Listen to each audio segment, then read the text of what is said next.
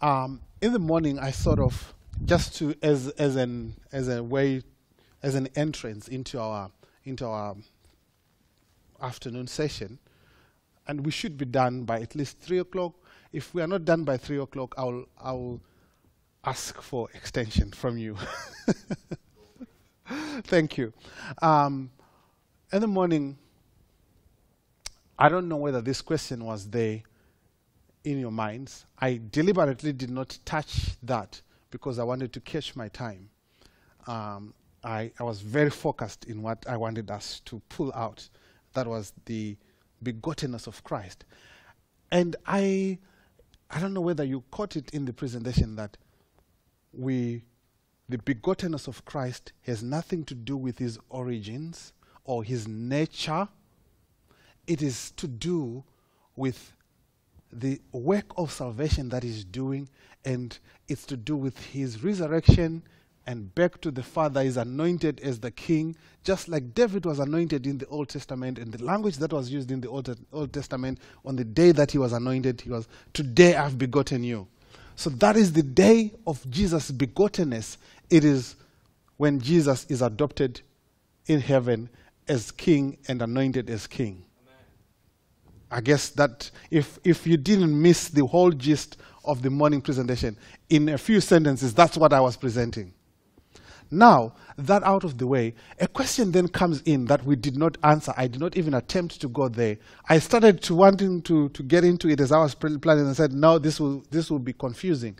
Leave it for the afternoon session. The question then is, are you saying that Jesus, before he is adopt, before he is resurrected back to heaven, he is not the Son of God. Is that what you are saying? You see, when we're investigating the truth, we should not shy away from all questions that come from. In fact, we find the truth when we face all the questions that. So that's what I I want to to at least focus on. If it takes me ten minutes, um, that's it. That's the focus now. The reason why I'm having this bite sized is so that we don't get confused in the maze and we, if we bite too much, we will get choked. so a small piece is enough to get us. I, I sort of had experience last week. We, we, we took a, bit, a big bite and uh, a few prayers there were showing that we were choking on, on, a, few, on a few things. Okay. When was the plan of salvation hatched? Good Adventists will tell you that before creation. Let's, let's pull that out from Scripture. Uh, because I'm not wanting, I, again, I'm trying to avoid to do as if I'm asking to see whether you know or not. But at the same time, I'm trying to keep a conversation going. Uh, how, how would we support that? From the foundation of the world. Let's hold on to that text. Uh, that's Revelation 13:8. Um, let's read it. By the way, I'm using the other text. Can, could I borrow one of those ones? I was beginning to use my one. Okay, Revelation 13:8. Revelation, if you are in the Old Testament, you are in the wrong part of the Bible. Revelation is the last book of the Bible.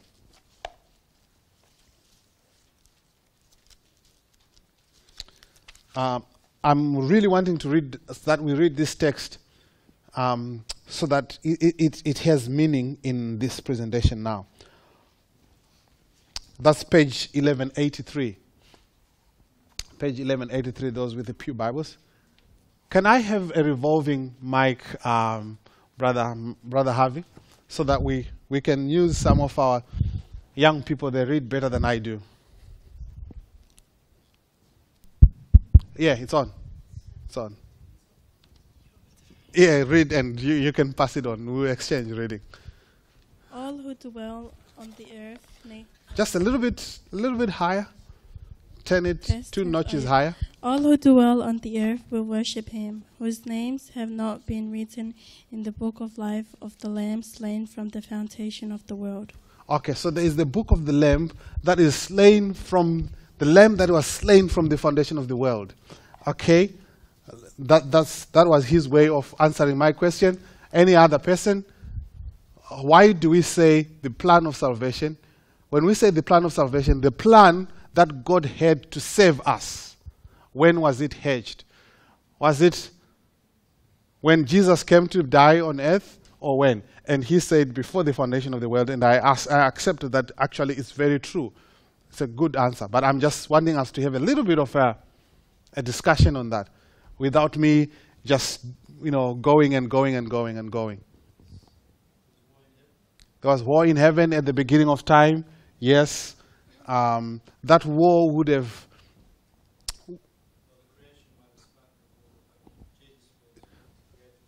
well, so that necessitated that well we can go on to plan to, to, to create if they we have this war going on we can't create if we don't have the the spanners to fix this kind of thing. Uh,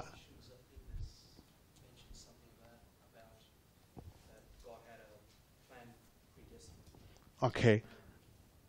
You're thinking of ephesians? 1 4 I can't think of a Colossians text. Check, check Colossians. Uh, uh, it could be there, but maybe, let's go with, with Ephesians, the one that I'm thinking right now. Ephesians 1 4. Uh, who's got the mic now? Okay. Sister Tam is going to read now. Oh, I'm supposed to tell you the page. I forgot.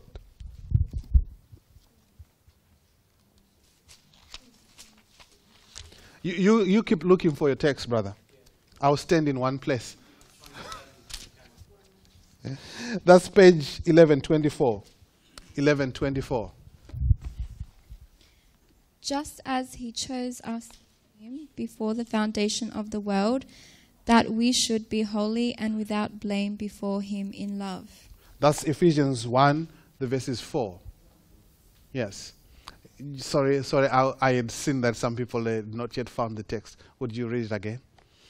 As he chose us in him before the foundation of the world, that we should be holy and without blame before him in love. Okay, powerful. Um, you, you, you, you found your, your one? Uh, yes, uh, Colossians chapter 1. Yes. And we can read from verse 15. 15 yeah. Okay. Right. Page? page 1132. Those with the Pew Bibles. Okay, don't mind. Give it to Maggie, she's got it already. Colossians 1.15. Give it to her.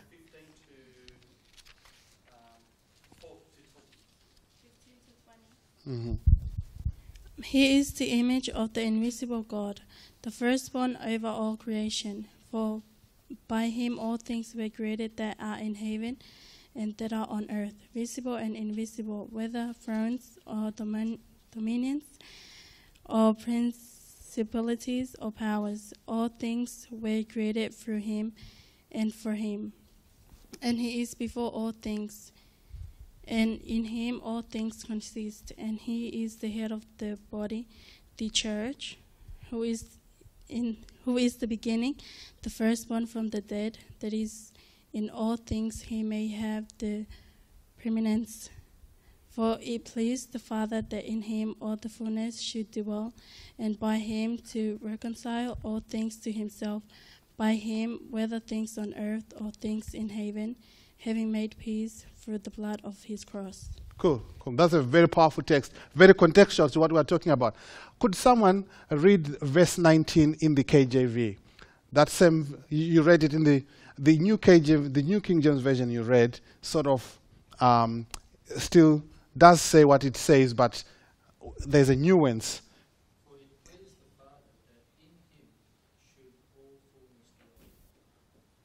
All fullness. Say, say that again. Read it.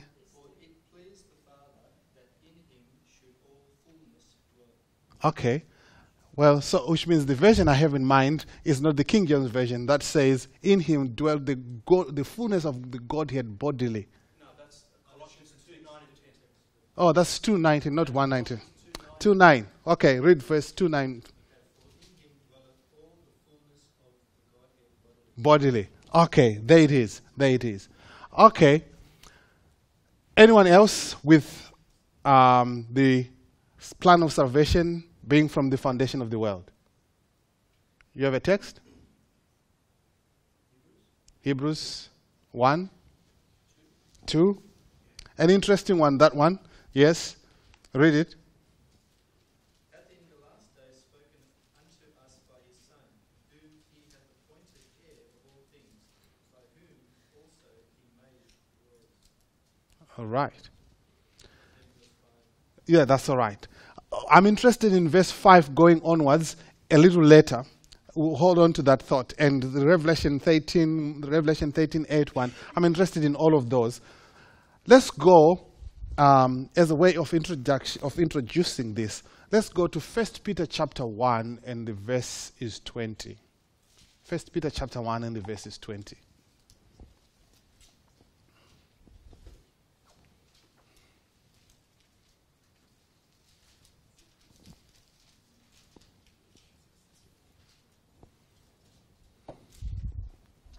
Oh, sorry. I'm, if you found it, please tell us the page. I forgot.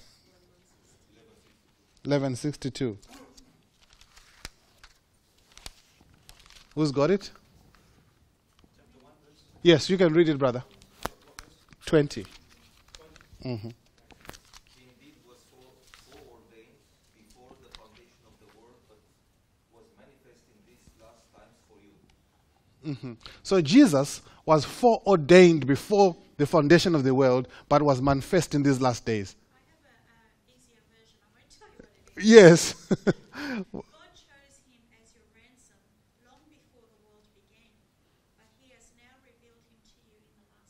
Wow, wow. You know, it doesn't really.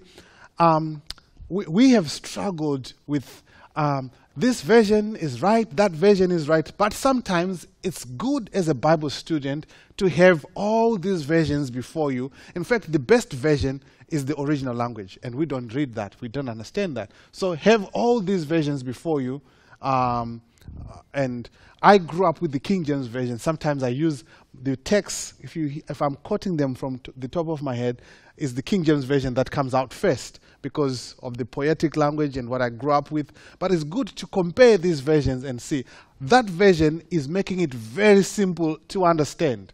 Very simple to understand. And I, I'm, I'm curious now. What version is it? It's a living Bible. Yes. Um, there, there's no. You, it's it's a good version to have sometimes, and most of the times, uh, when I quote verses and put them on the screen, I first check. I mostly use Living Bible version because it's very simple to understand. Right. Um, we have seen that the plan of salvation, that Christ would come to die for us, was not something that started at the time that Jesus died. For those that um, do not have the, the time conceptualized in their mind, imagine this. Here is the creation of time.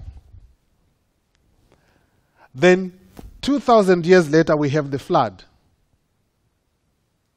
Noah's flood. After 2,000 years, we have Christ. So we've got this period of 4,000 years. All this period, Christ has already accepted that he is going to do what? To die. So Christ knows that this process involves him dying, and then actually, before dying, he has to live first, isn't it? It, it, it, he knows that this plan involves him being born on the planet of Earth. Next week, we're going to have fun with how he was born, but not now. Um, uh, he has to be born on this earth and then feel the hunger and the pain of being a human being because he was touched with all our infirmities as a human being. So he grows that, and he knows that when he resurrects, he is not going back into a spiritual body that he was before he was born. He is going to live in contained in a human body. When we get to heaven someday, when we march into heaven, the human being we are going to see is Jesus. Forever in our human form. Forever. And scars marked on his hand forever. That's how, that's how deadly sin is. But that's how wonderful and amazing love is. That Christ is forever going to be like one of us. That's why I keep saying there is no other better deal. No other God could give us this kind of a deal. So, he knew that he was going to go through this. Now, have you ever preached on the pulpit? What if I ask you that next week you're going to be the one who's going to preach? It means the knowledge and the fear of preaching does not start when you start preaching. You are going to live with it from now. So Christ assumes that which he is going to be already now, then, before he is it. He is slain at the, at the cross, but he is the lamb that is slain from the foundation of the world. So Jesus is what he is going to be before he is. Is that confusing? It's clear, isn't it? yes. He is going to he is already what he is going to be. So you will find that even in the book of Daniel, in chapter 7, Jesus is already portrayed as the Son of Man. But he's not yet the Son of Man. Then Daniel says, uh, After that, I saw one who was like the Son of Man approaching the throne. And judgment was given to him. Because Jesus is already, oh, in the fiery furnace, the Hebrew boys. You remember? One who was like the Son of Man, the fourth man. Jesus is already who he is going to be before he is. That's why even in John 3:16 before Jesus has been adopted back to heaven, he is the only begotten of the Father.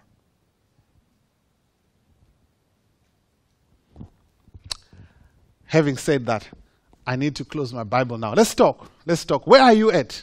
Let's let me feel you um, in this in this place now. This is where I also get to learn. Because what I have presented is what the little I know. There is the little you know. We can put it together. I also do this for my own benefit. Some people might have uh, that little avenue, they will bring it in. Next time when you present, when I present, you'll see that it will be a little richer. It's because of you. I've borrowed uh, your illustration. Or if you ask me a question that I cannot answer, I will tell you that, hmm, that's a good question. I had not thought about that. Give me time to research. It means next time, now that I've researched about it, next time I present, I'm a little bit wiser and richer. So that's why I normally have this, so that we can talk. Or if you have questions, so go anyway. There's no structure here now. There's no structure. Questions, additions, observations? Brother Peter. It's not really what you asked for, but I just want to say at the outset that because I've looked at this a lot, Yes. the best material that I've found in the one place so far is a book by a guy called Lynn Parfit. You know that one? Yes, Glenn Parfit right now is in is in contact with us. Um, he, he is the guy who texted you a message l- yesterday, wanting Pastor Tollest's um, um, Queensland. Uh, thick volume, thick volume like that, very detailed. Very detailed. Yes. From the perspective of a scientist that he is, and weighing up both sides of the argument in a very, very balanced and good way. And I'm making my way through that at the moment, but for me, Good, good luck. Yes. that this has got everything in the one place. And I do believe in a balanced You will find it at the ABC. It's a thick volume called um, the Trinity. It's a really, really good. It's a one shop. It's a one-stop shop. You get there, you you will find a lot of interesting stuff. Theology and stuff. He doesn't do well in the historical perspective of the stuff that we. I think it's not exactly his focus the historical perspective from the Catholic perspective going it's not he doesn't zone in on that. But the historical of Adventism, yes, historic Adventism and, uh, and a bit of digging in the text, he does that very well. Very well. Mm. Yes? Anyone else? Yes. So the question I have, it, it doesn't really exactly fall in line, but you know, based on this quotation that you gave on um, E.G. White stating that um, there is, based on the right Yes. given to the seven at that stage, um, are you, can you safely say that currently as a church, um, we have received enough light? Or do you, do you believe that as our walk proceeds, there, there, there may be times where we will receive um, further Good question. Very, very, very tricky one. And I I don't mind to answer it. I don't mind to answer it even in a general way. Yeah, yeah. But you, you I, I get your point. In this subject, um, I w- I'm reluctant to say we have arrived in any subject. Let me tell you why. Uh, Proverbs chapter four, the verse is eighteen.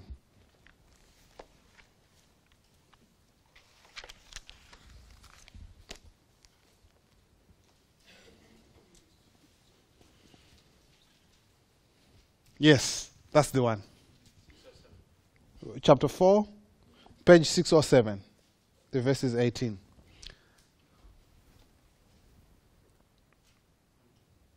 Anyone? Yes, you can read it, Sister. Ra. Chapter 4, verse 18. The path of the righteous is like the first gleam of dawn, shining ever brighter till the full light of day. Yes. Um, so what it means is that, and the other text, before I say what I want to say, the other text is um, Matthew chapter 4, the verse is 4. Matthew 4, verse 4.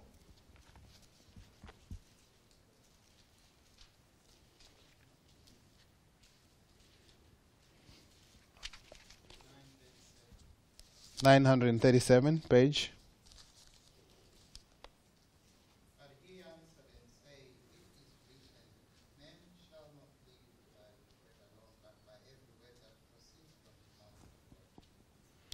Now, just reading that from the original, original language, it would say something like this Men shall not live by bread alone, but by words that are ever proceeding from the mouth of God. Now, the sense you get there is this: the word of God comes out of His mouth, but this is how I hear it. say, let's for example here said love. I hear love. Love. Love. Love. It gets clearer, deeper and deeper and deeper and more meaningful and more meaningful. So the tense there, those for those that love languages, the grammatical tense there is the present continuous tense. Yes. Yes.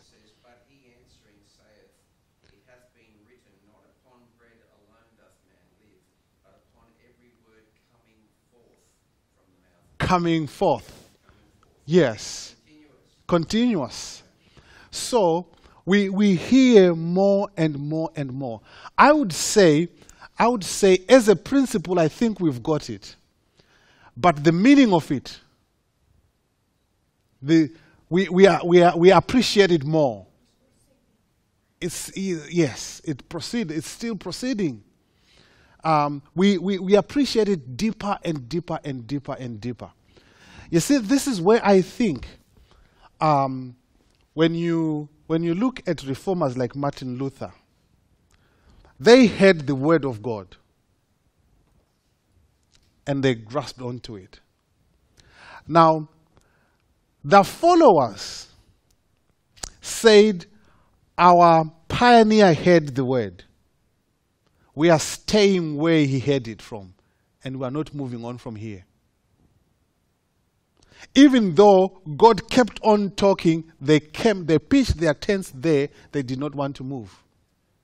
Yet God's voice had moved on, the echo had produced on more meaning and more meaning, such that even by the time, for example, during, during the time of, of John Calvin, these little farmers and in the villages were doing Bible studies. You know, you, should, you should, you should read that, the, the history of that time.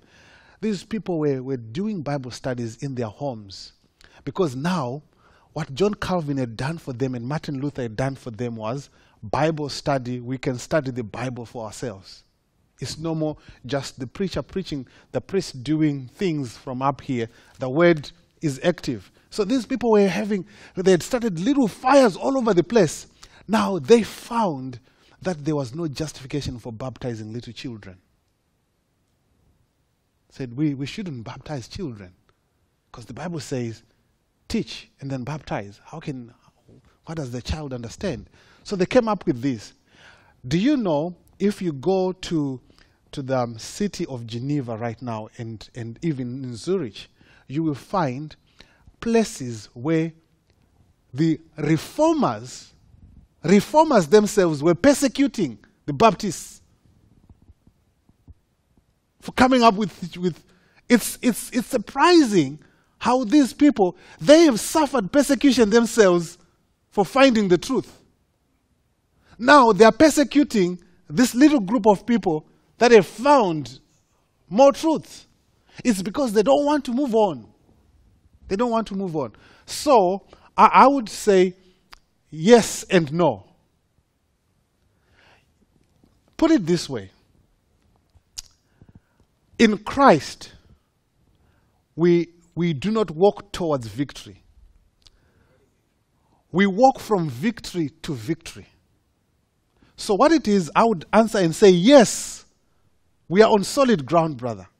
But we can even hear more and appreciate more. And let's hunger and thirsty for more. Because I think what my brothers have done, those that my brothers and sisters that have said, um, well, the pioneers, for me, I hear them as saying, we are pitching our tents here where the pioneers were pitched. You know,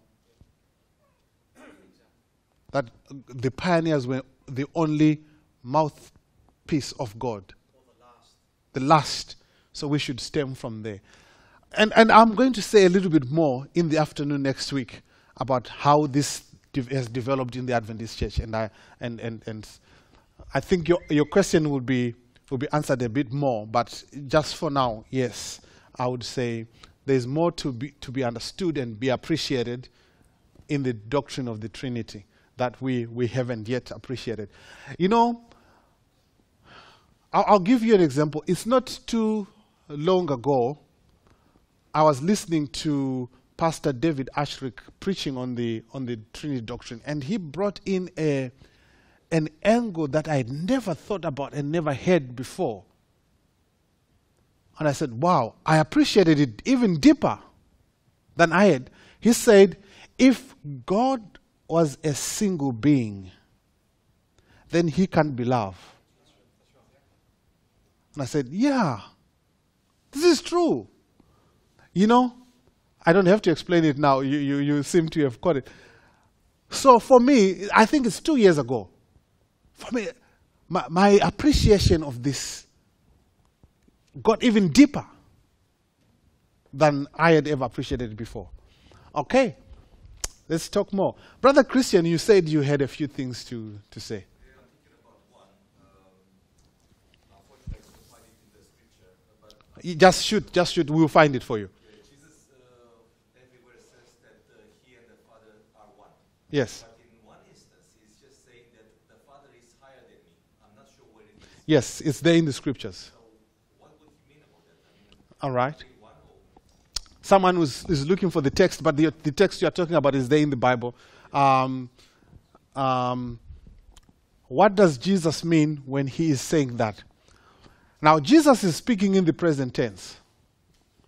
The text we ended with in the morning said, um, Him who thought it not robbery to be equal with God. Because he was equal with God, he was not lesser.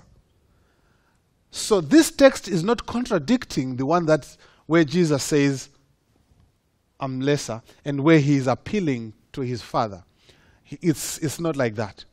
But what Jesus has done in that, in that text in Philippians chapter 2, what Jesus has done is he has condescended, and this, my sense of, the, of, of, of, of condescending here is that he has humbled himself. Now he has become a human being, just like you and I. The only difference is that without sin. He has become a human being, and now he is speaking the language that we speak. I think it's Romans chapter 5 and the verses 10 that says, By his life and by his death we are saved. So he is living our life and conquering in our life. You get that?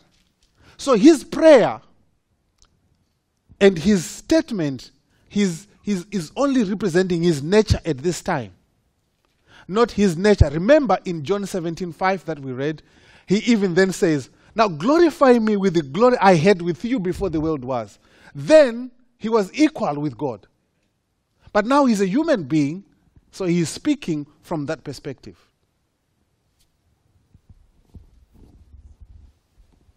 John 14, verse 28, that's where All right, just read it for us. it says, You have heard me say to page 1043, Mhm. You have heard me say to you, I'm going away and coming back to you. If you loved me, you would rejoice because I said I'm going to the Father. My Father is greater than I. Mhm.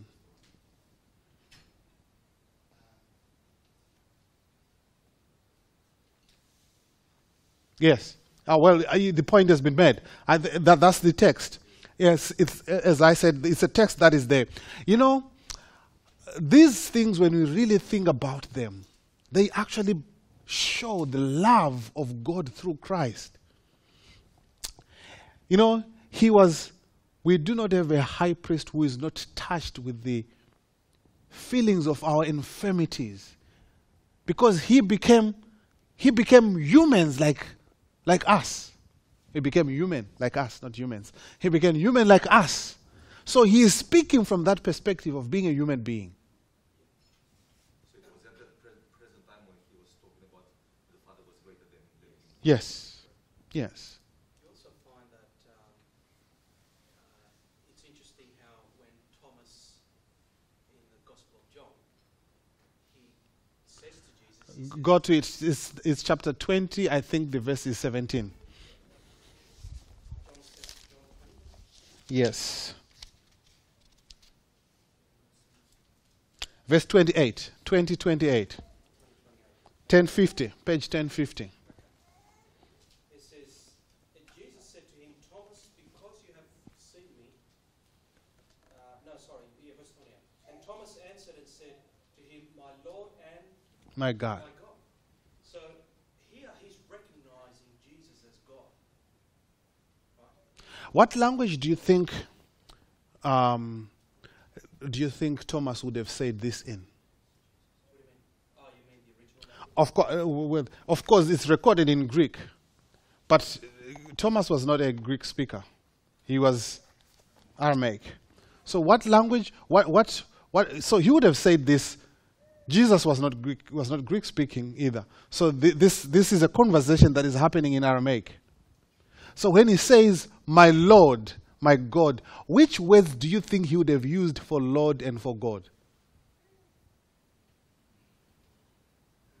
Probably the original Hebrew Yes. from the Old Testament. So, which word is Lord translated from? Yahweh.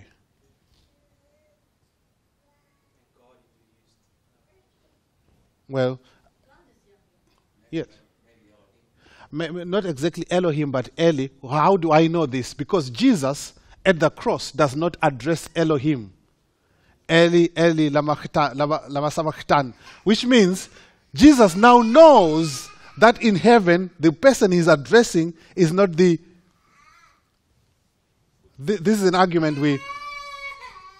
Okay, someone is preaching while I'm preaching. That's all right. Um, there's an argument that says when we say Elohim is plural, some say, well, it's because you don't understand that the Hebrew language has a way of reverence and honoring by pluralizing. Did you get my sense? Some would say, I don't know in your language, but in my language, it's true actually. In my language. If I was addressing you, Peter, I have had to learn to call a person like you Peter. In my language, I would have to use your surname, but before your surname, I would put a prefix. That prefix is actually pluralizing your name. That is a way of respecting because we can't call an elderly person by first name in, in my culture. Never. You never do that. So, but again, I would not just say Smith. If I said Smith to you, it means you are my age mate. So I would have to put a prefix, va Smith. That prefix is actually a prefix of making it a plural. So they make this argument, but then the problem comes when you look at Jesus addressing a singular person, a single person in heaven, he calls him Eli, not Elohim. So what, what, going back to what Thomas was saying, Yes. So Thomas would have said maybe Eli. My God, Eli, my Lord, Yahweh. but does the text sim, uh, symbolizes that he's recognizing that Christ is deity? Yes. That's the point. Well, if that's the case, then he's either addressing God, Who is Yahweh? right, who's Yahweh himself, or he's he's making an idol of him. That's that's the that's the point. Yeah. So, in that basis, uh, from that conclusion, you, we can't say that he was using words to put Jesus any lower than what he is. Correct. Correct. So that. So actually, that says borrowing, stealing your thunder. What it means is that the accusation of the Jews to the um, to, to the disciples is you are making God of a human being.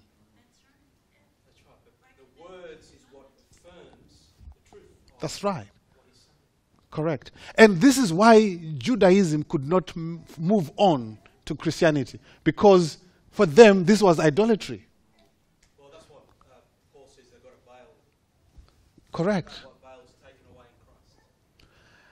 Um, look this one up for me, CP. I think it's in John chapter 5 or chapter 6, towards the end, where uh, Jesus has said to the disciples, Before Abraham, I am.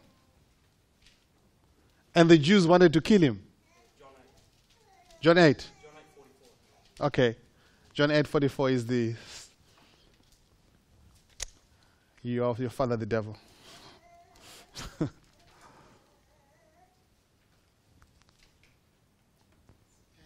Oh, no, no. T- 39. That's close. 1039. Which is which, brothers?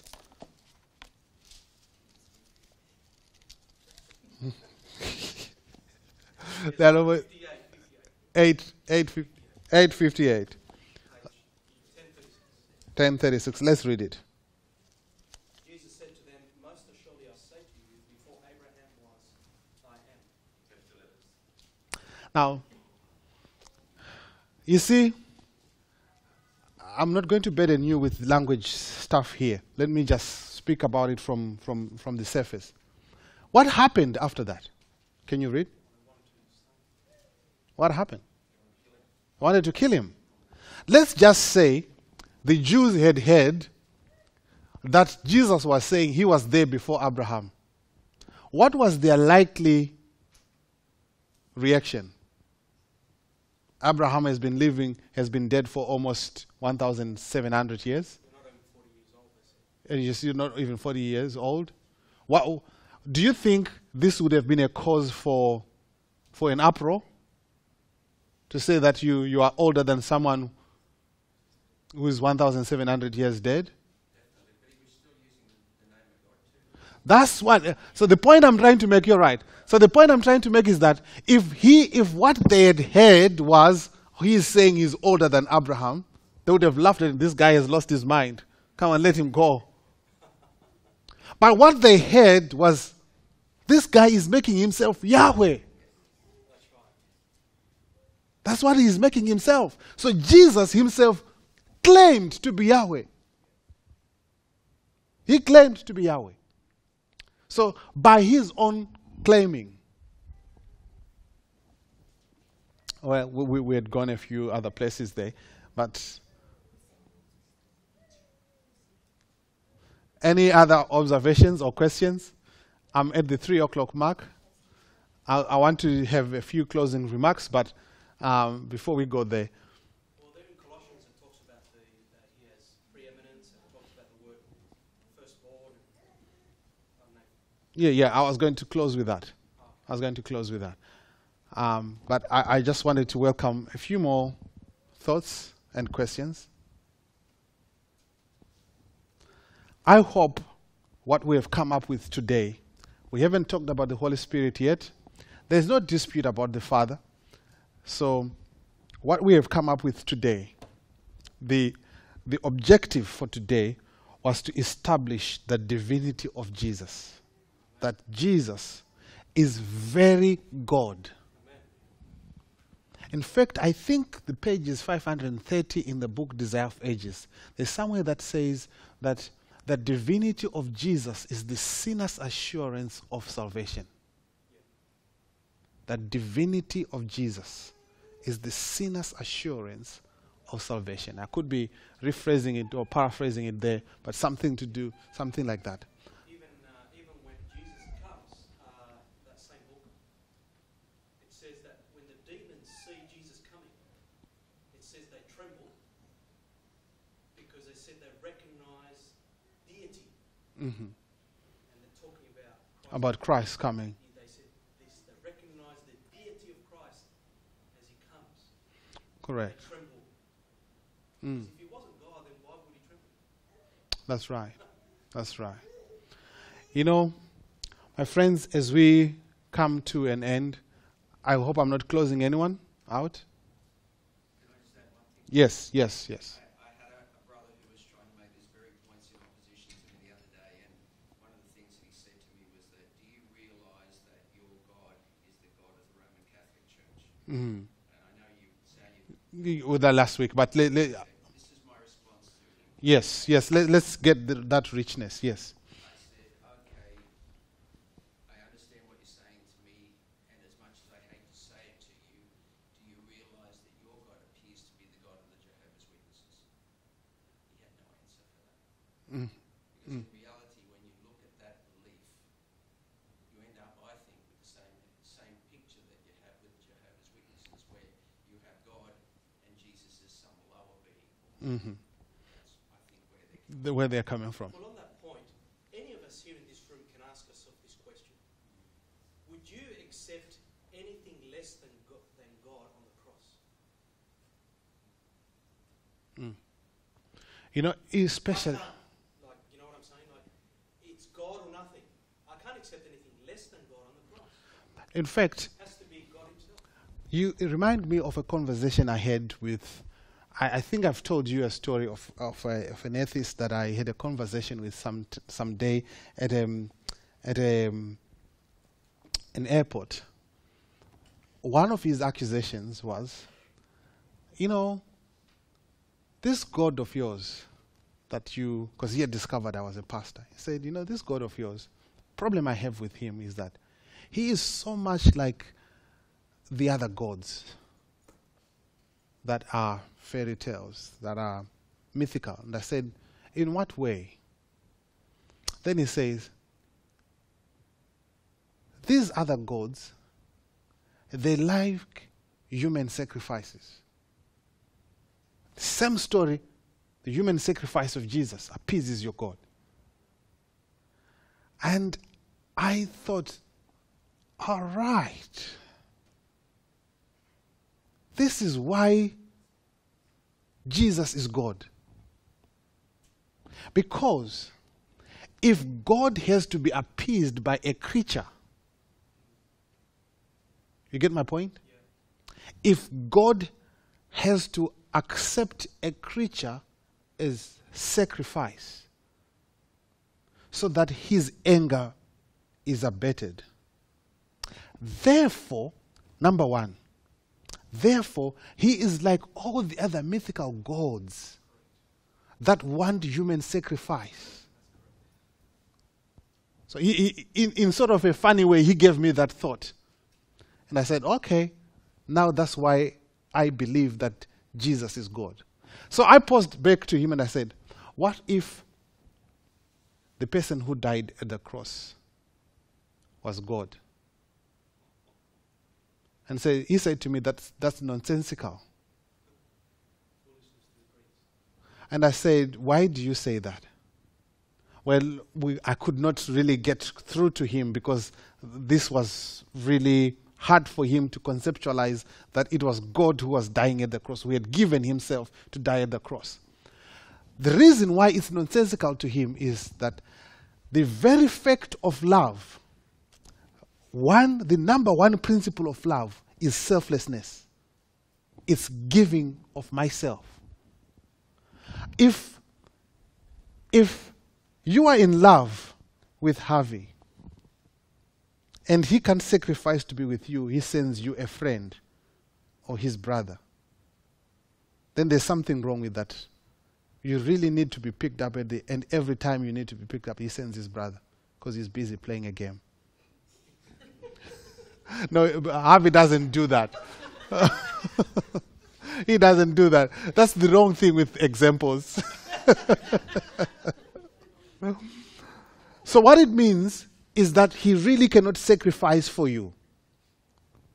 He would rather use someone else to say. But if it's his own person that is doing this, then you understand their love. So if, if it's God who died at the, at the, at the cross, I guess you, understand what I'm saying. If it's God who gave himself. Number two, the other principle that is there, therefore, if God had to create a human being to appease his anger, therefore, God, the doctrine of righteousness by works stands. That he wants us to offer something so that he can, he can accept us. But if it is God who is offering himself, he is saying, Look, your salvation does not take you, it takes me. So that's different. That's different. Other gods would say, Search for me and you'll find me.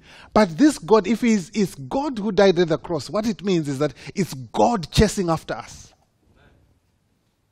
So uh, that's why I'm saying I cannot accept that is a, it's, it's, it's a lesser being that is dying. That makes God a tyrant. That makes God a tyrant. So, in this statement in Colossians chapter 1, this is how we can understand it. We can understand it to mean that Jesus, on the day, I don't know which day it was, when this topic had to come, I think Zechariah calls it the, the, the Council of Peace. The Council of Peace, where the three of them, in their oneness, had to come up with the plan of salvation. And Jesus has to die. Now, God cannot die. So, how is he going to die? Because what is at stake, my friends, look at it this way. And I should be done in the next five minutes.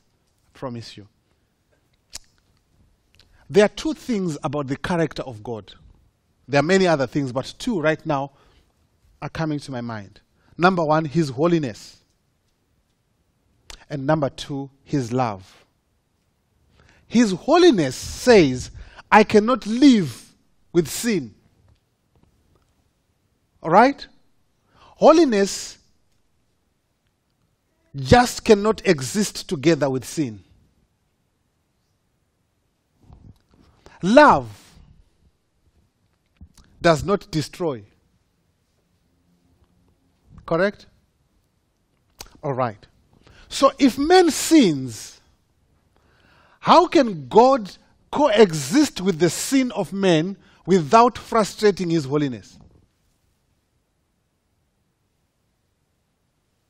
If man sins and God destroys him, how can he destroy without frustrating his love attribute?